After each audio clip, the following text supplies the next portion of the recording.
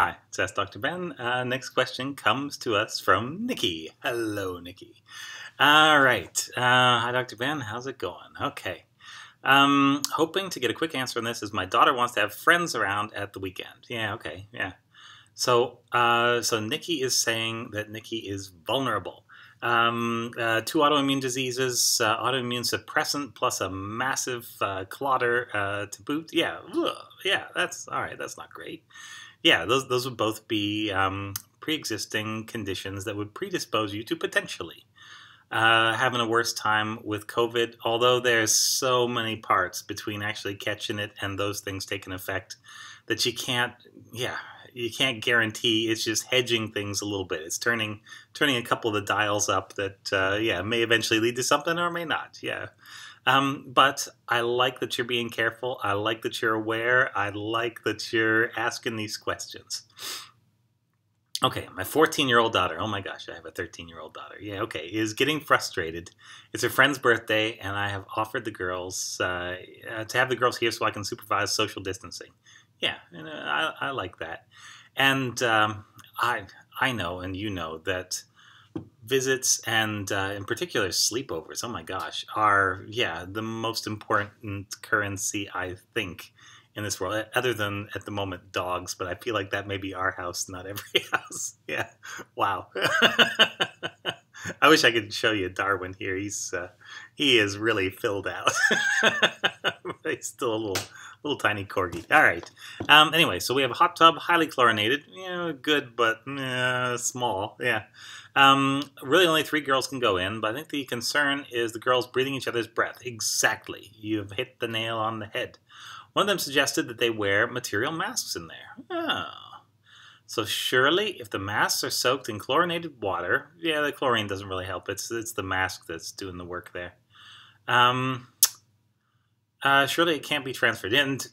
Yeah, in science. Never say can't. Everything is possible if you try hard enough. Yeah, the key is to not try hard enough in this particular case.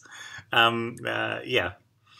Um, and so, yeah, with a mask in a hot tub, so you're closer than you should be, but you're presumably outside. I don't know. Maybe you're inside, maybe you're outside. Um, but you're wearing a mask, and so I feel like we've gone to a place where there is not a lot of scientific data uh, to back this up. I have not seen any hot tub time machine uh, papers uh, come out recently. if they did, we just go back to before COVID and maybe do something different this time. um, yeah, I like what you're thinking, and yeah, it seems like they're wearing a mask and they're in a hot tub. I don't think the chlorine's a big factor, but I do think the mask is a big factor, and I think um, I think that is much safer than not wearing a mask. That's that's about as far as the science can take us. Uh, yeah, it seems like something you could probably get away with and do reasonably safely. Nothing is safe in this world when you have people close together anymore. And isn't that terrible? Yeah, people really like being close together. But oh, uh.